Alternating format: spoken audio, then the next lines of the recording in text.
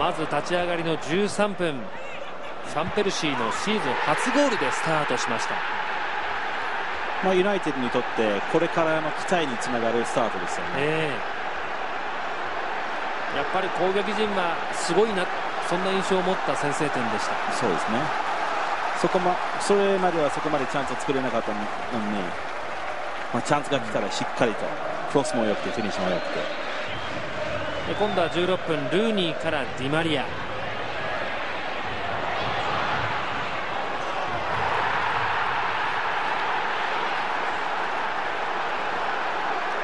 これも贅沢なスキルでしたね。そうですね。ルーニーからパスが入るともちょっと足足元に入ってしまうんだけどそれでもちょっとアイデアを変えてループシュートいって早速2点目しかしそのわずか1分後レスターが1点を返します。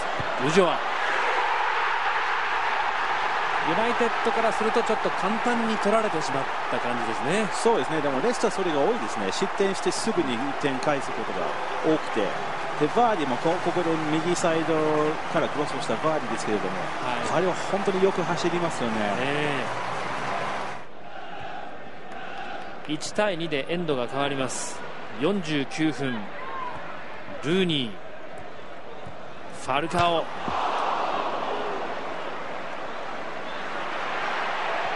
まあ彼早くゴールが欲し 欲しいという気持ちですね。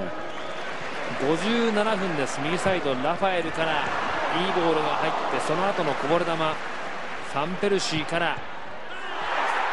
最後エレーラ、うん、この時間帯はユナイテッドにとっても試合で一番いい時間帯であったんですし一番理想的なプレーができたと思うんですけれども、えー、そこからですねちょっと甘くなってしまったのかもしれません。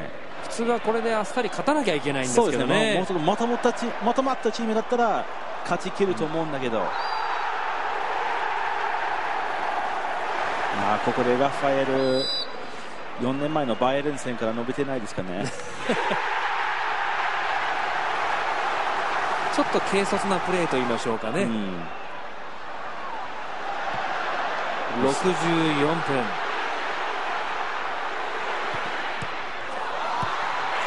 同点ゴールカンビアッソ。PK ですぐに勢いも雰囲気も変わっちゃったんですね、えーユナイテッドちょっとまあパニック状態に近いですかね。カンベアスしっかりと決めて79分はここで股が捕まります。で一気に最前線カウンターで逆転。まあディフェンスラインが崩れたというとまあペンでラインを書こうとしてもラインかけるところがないですね、ブラケット1人ですね。